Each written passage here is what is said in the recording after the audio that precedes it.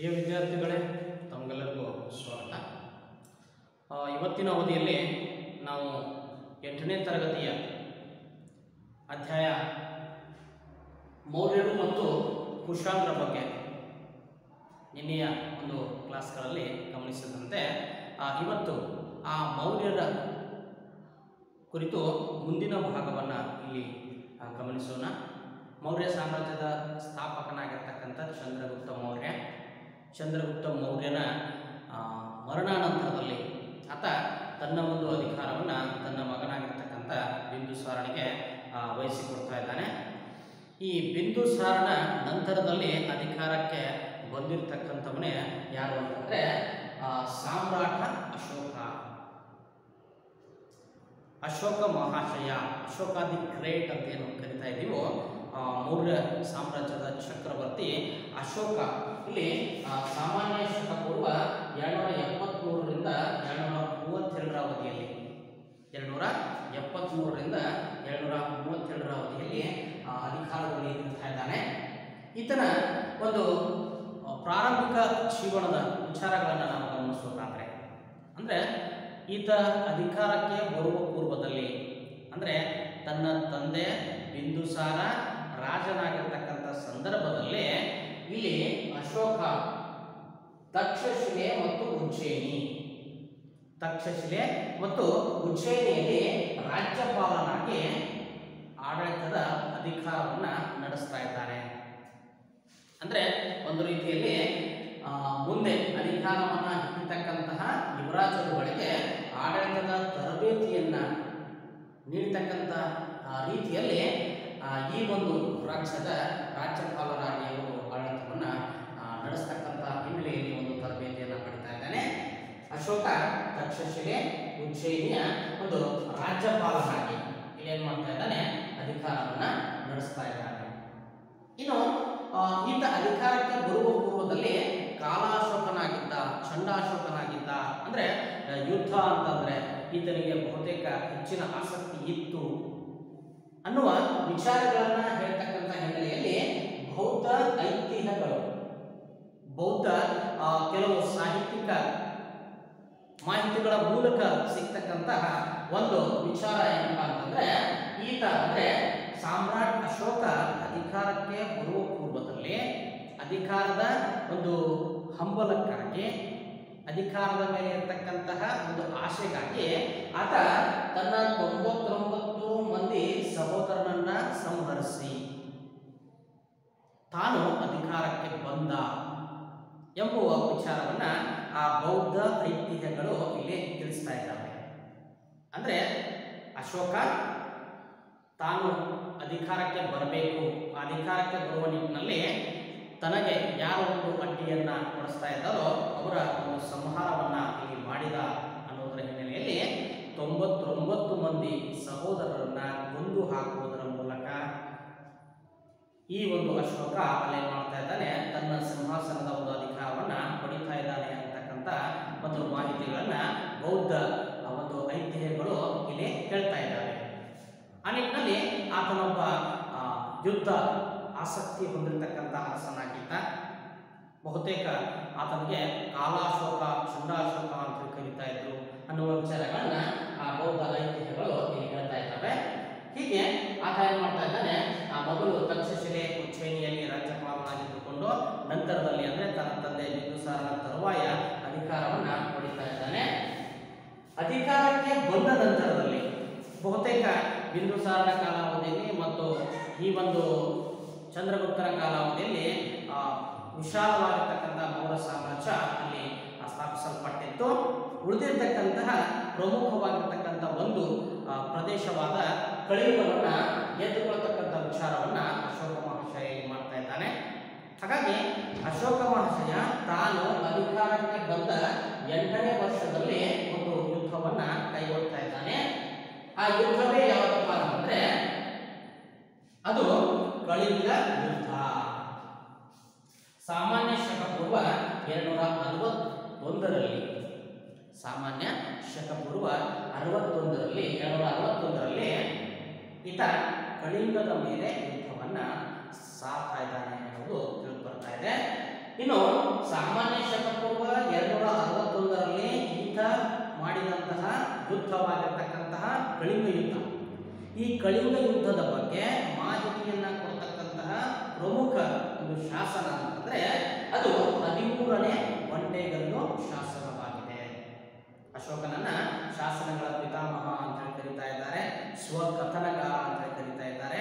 ಬಹುತೇಕ ಭಾರತದ ಇತಿಹಾಸದಲ್ಲಿ ಈ ಶಾಸನಗಳನ್ನ ಬಳಸ್ತಕ್ಕಂಥ ಪದ್ಧತಿಗೆ ಚಾಲನೆಯನ್ನ ಒದಗಿಸಿರ್ತಕ್ಕಂಥವನು ಅಶೋಕ ಮಹಾಶಯ. ಆ ಹಿನ್ನೆಲೆಯಲ್ಲಿ ಈ ಕಳಿಂಗ ಯುದ್ಧದ ಬಗ್ಗೆ ಮಾಹಿತಿಯನ್ನ ಕೊಡ್ತಕ್ಕಂಥ ಆತರ ಒಂದು ಶಾಸನ ಯಾವುದಪ್ಪ ಅಂತಂದ್ರೆ ಅದು ಹದಿಮೂರನೇ ಬಂಡೆಗಲ್ಲು ಶಾಸನ ಈ ಹದಿಮೂರನೇ ಬಂಡೆಗಲ್ಲು ಶಾಸನ ವಿವರಿಸ್ತಕ್ಕಂಥ ವಿವರಣೆಯನ್ನು ನಾವು ಗಮನಿಸಿದ್ರೆ ಆ ಕಳಿಂಗ ಯುದ್ಧದ ಬಗ್ಗೆ, ಆ ಮಹತ್ವದ ಮಾಹಿತಿಗಳು ಅಲ್ಲಿ ತಿಳಿತಾ ಇದ್ದಾವೆ. ಹಾಗಾದ್ರೆ ಈ ಸಾಮಾನ್ಯ ಶತಪೂರ್ವ ಎರಡ್ನೂರ ಅರವತ್ತೊಂದರಲ್ಲಿ ಕಳಿಂಗದ ಮೇಲೆ ಅಶೋಕ ಯುದ್ಧ ಸಾರಿದಾಗ ಆ ಯುದ್ಧದ ಒಂದು ಗತಿ ಯಾವ ರೀತಿಯಲ್ಲಿತ್ತು? ಆ ಯುದ್ಧದ ಪರಿಣಾಮಗಳು ಯಾವ ರೀತಿ ಅಲ್ಲಿ ಕಂಡು ಬಂದವು? ಆ ಪರಿಣಾಮದ ಹಿನ್ನೆಲೆಯಲ್ಲಿ ಆ ಯಾವ ರೀತಿಯ ಒಂದು ಬದಲಾವಣೆ ಅಶೋಕನಲ್ಲಿ ಆಯಿತು ಅನ್ನೋದನ್ನು ನಾವು ನೋಡೋದಾದ್ರೆ, ಸಾಮಾನ್ಯ ಶಕಪೂರ್ವ ಎರಡ್ನೂರ ಅರವತ್ತೊಂದರಲ್ಲಿ ಅಶೋಕ ಮಹಾಶಯ ಕೈಗೊಂಡಂತಹ ಈ ಕಳಿಂಗ ಯುದ್ಧದಲ್ಲಿ ಸುಮಾರು ಒಂದು ಲಕ್ಷ ಐವತ್ತು ಸಾವಿರದಷ್ಟು ಸೈನಿಕರು ಇಲ್ಲಿ ಸೆರೆ ಹಿಡಿಯಲ್ಪಡ್ತಾ ಇದ್ದಾರೆ. ಒಂದು ಘನಘೋರ ಯುದ್ಧ ಅಲ್ಲಿ ನಡೀತಾ ಇದೆ. ಆ ಯುದ್ಧದಲ್ಲಿ ಒಂದು ಲಕ್ಷ ಐವತ್ತು ಸಾವಿರ ಸೈನಿಕರನ್ನ ಸೆರೆ ಹಿಡಿಯಲಾಗ್ತಾ ಇದೆ. ಸೆರೆ ಹಿಡಿತಕ್ಕಂಥ ಹಿನ್ನೆಲೆಯಲ್ಲಿ ಆ ಸೈನಿಕರು ಬಹುತೇಕ ಗಾಯಗೊಂಡಿರ್ತಾ ಇದ್ದಾರೆ. ಅವರ ಒಂದು ಕೈಯೋ, ಕಾಲೋ ಇಲ್ಲ ದೇಹದ ಯಾವ ಭಾಗದಲ್ಲಿ ಗಾಯಗೊಳ್ಳುವುದರ ಮೂಲಕ ಆ ಗಾಯಗೊಂಡಿರ್ತಕ್ಕಂತಹ ಒಂದು ಲಕ್ಷ ಐವತ್ತು ಸಾವಿರ ಸೈನಿಕರ ಒಂದು ಸೆರೆಯಾಳುಗಳನ್ನ ಆ ಒಂದು ಯುದ್ಧದ ಹಿನ್ನೆಲೆಯಲ್ಲಿ ಮಾಡಲಾಗ್ತಾ ಇದೆ. ಅಷ್ಟೇ ಅಲ್ಲದೆ ಒಂದು ಲಕ್ಷ ಸೈನಿಕರ ಸಾವು ಅಲ್ಲಿ ಸಂಭವಿಸ್ತಾ ಇದೆ. ಒಂದು ಲಕ್ಷ ಸೈನಿಕರು ಆ ಕಳಿಂಗ ಯುದ್ಧದಲ್ಲಿ, ಆ ಯುದ್ಧ ಭೂಮಿಯಲ್ಲಿ ಮರಣವನ್ನ ಹೊಂದುತ್ತಾ ಇದ್ದಾರೆ. ಅಂದ್ರೆ ಈ ಒಂದು ಯುದ್ಧದಲ್ಲಿ ಅಶೋಕ ಮಹರ್ಷಿಯ ಗೆಲುವನ್ನ ಸಾಧಿಸಿದರೂ ಕೂಡ ಆ ಒಂದು ರಣರಂಗದ ಘನಘೋರವಾಗಿರ್ತಕ್ಕಂಥ ಸ್ಥಿತಿಯನ್ನ ಆತ ಗಮನಿಸ್ತಾ ಇದ್ದಾನೆ. ಆ ರಣರಂಗದಲ್ಲಿ ತಮ್ಮ ಕೈ ಕಾಲುಗಳನ್ನ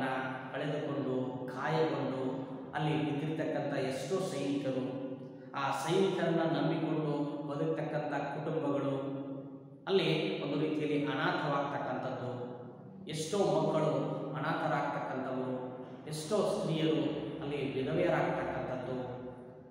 ಹೀಗೆ ಆ ಘನಘೋರವಾಗ್ತಕ್ಕಂಥ ಸ್ಥಿತಿಯ ಒಂದು ಆ, ಆ ಘಟನೆ ಅಂದರೆ ಆ ಯುದ್ಧ ಆ ಯುದ್ಧದ ಒಂದು ಸ್ಥಿತಿಯ ಹಿನ್ನೆಲೆಯಲ್ಲಿ ಈ ಒಂದು ಅಶೋಕ ಮಹಾಶಯನ ಮನಸ್ಸು ಏನಾಗ್ತಾ ಇದೆ ಒಂದು ರೀತಿ ಮರಗ್ತಾ ಇದೆ.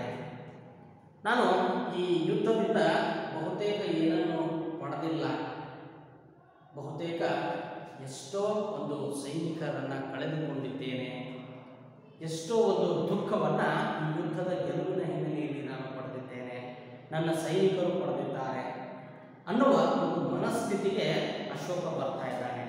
ಅಂದ್ರೆ ಈ ಬೌದ್ಧ ಐತಿಹ್ಯಗಳು ಹೇಳ್ತಕ್ಕಂಥ ಒಂದು ಮಾಹಿತಿ ಏನಿತ್ತು ತೊಂಬತ್ತೊಂಬತ್ತು ತನ್ನ ಸಹೋದರರಲ್ಲಿ ಕೊಂದು ಅಧಿಕಾರಕ್ಕೆ ಬಂದಿರತಕ್ಕಂತಹ ಆ ಒಂದು ಅಶೋಕ ಮಹಾಶಯನ ಮನಸ್ಸು ಈ ಕಳಿಂಗ ಯುದ್ಧದ ನಂತರದ ಹಿನ್ನೆಲೆಯಲ್ಲಿ ಮಮ್ಮಲ ಮರಗಿ ಆ ಒಂದು ಯುದ್ಧ ಸ್ಥಿತಿಯ ಹಿನ್ನೆಲೆಯಲ್ಲಿ ಕಂಡಂತಹ ಶೋಕವನ್ನ, ದುಃಖವನ್ನ ಅಲ್ಲಿರ್ತಕ್ಕಂತಹ ಒಂದು ಕಠಿಣ ದುಃಖದ ಆ ಸ್ಥಿತಿಯನ್ನು ಕಂಡು ಇನ್ನೆಂದೂ ಕೂಡ ನಾನು ಯುದ್ಧವನ್ನು ಮಾಡಲಾರೆ ಎಂಬ ಒಂದು ದೃಢ ನಿರ್ಧಾರಕ್ಕೆ ಅಶೋಕ ಬರ್ತಾ ಇದ್ದಾನೆ. ಆ ಹಿನ್ನೆಲೆಯಲ್ಲಿ ಆತ ಏನ್ ದಿಗ್ವಿಷಯದ ನೀತಿಯನ್ನು ಕೈಬಿಡ್ತಾ ಇದ್ದಾನೆ. ಅಂದರೆ ಯುದ್ಧವನ್ನು ಮಾಡಿ ಸಾಮ್ರಾಜ್ಯಗಳನ್ನು ಗೆದ್ದು ತನ್ನ ಒಂದು ಸಾಮ್ರಾಜ್ಯದ ವ್ಯಾಪ್ತಿಯನ್ನು ವಿಸ್ತರಿಸ್ತಕ್ಕಂತಹ ನೀತಿಗೆ ಆತ ಒಂದು ರೀತಿಯಲ್ಲಿ ವಿರಾಮ ಹೇಳ್ತಾ ಇದ್ದಾನೆ. ಇನ್ನೆಂದೂ ಕೂಡ ನಾನು ಖಡ್ಗವನ್ನು ಮುಟ್ಟಲಾರೆ, ಯುದ್ಧವನ್ನು ಮಾಡಲಾರೆ. ಯುದ್ಧದಿಂದಲೇ ಈ ಎಲ್ಲ ಸಾವು ನೋವು, ಯುದ್ಧದಿಂದ ನಾವೇನನ್ನೂ ಕೂಡ ಪಡೆಯಲಿಕ್ಕೆ ಸಾಧ್ಯವಿಲ್ಲ. ವಿನಃ ಎಲ್ಲವನ್ನ ಕಳೆದುಕೊಳ್ಳಲಿಕ್ಕೆ ಒಂದು ಕಾರಣವೇ ಯುದ್ಧ. ಅಂತಕ್ಕಂಥ ಒಂದು ಮನಸ್ಥಿತಿ ಆತನಲ್ಲಿ ಹೋಗ್ತಾ ಇದೆ. ಆ ಹಿನ್ನೆಲೆಯಲ್ಲಿ ಆತ ಏನ್ ಮಾಡ್ತಾ ಇದ್ದಾನೆ, ಈ ದಿಗ್ವಿಷಯದ ನೀತಿಯನ್ನ ಕೈಬಿಟ್ಟು ಧರ್ಮ ವಿಷಯದ ನೀತಿಯನ್ನ ಅನುಸರಿಸಲಿಕ್ಕೆ ಆದ್ಯತೆ ಕೊಡ್ತಾ ಇದ್ದಾನೆ. ಧರ್ಮ ವಿಷಯದ ನೀತಿ. ಅಂದರೆ ಅಹಿಂಸೆಯೇ ಅಲ್ಲಿ ಮುಖ್ಯವಾಗಿರ್ತಕ್ಕಂಥದ್ದಾಗಿರಬೇಕು. ಧರ್ಮ ವಿಜಯ ಅದು ನ್ಯಾಯಯುತ ಮಾರ್ಗವಾಗಿರಬೇಕು. ಅಧರ್ಮದ ಮಾರ್ಗವಾಗಿರಬಾರದು ಅನ್ನೋದರ ಹಿನ್ನೆಲೆಯಲ್ಲಿ ಅಂದಿನ ಒಂದು ಪ್ರಮುಖ ಅಹಿಂಸೆಯನ್ನು, ಸತ್ಯವನ್ನು ಬೋಧಿಸ್ತಕ್ಕಂಥ ಧರ್ಮವಾಗಿರ್ತಕ್ಕಂತಹ ಬೌದ್ಧ ಧರ್ಮವನ್ನು ಇಲ್ಲಿ ಅಶೋಕ ಮಹಾಶಯ ಮಾಡ್ತಾ ಇದ್ದಾನೆ, ಸ್ವೀಕಾರ ಮಾಡ್ತಾ ಇದ್ದಾನೆ.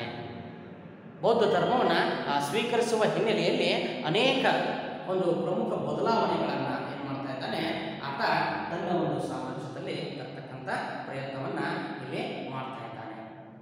ಅಂದರೆ ಆ ಬೌದ್ಧ ಧರ್ಮದ ತತ್ವಗಳಾಗಿರ್ತಕ್ಕಂತಹ, ಆ ಸತ್ಯ, ಅಹಿಂಸೆ ಆಸ್ತೆಯ ಅಪರಿಗ್ರಹ, ಬ್ರಹ್ಮಚರ್ಯ, ಏನು ಒಂದು ಪ್ರಮುಖವಾಗಿರ್ತಕ್ಕಂತಹ ತತ್ವಗಳಿವೆಯೋ, ಅದರಲ್ಲಿ ಮುಖ್ಯವಾಗಿ ತನ್ನ ಒಂದು ಸಾಮ್ರಾಜ್ಯದಲ್ಲಿ ತಾನು ಅಹಿಂಸೆಯನ್ನು ಪಾಲಿಸಬೇಕು.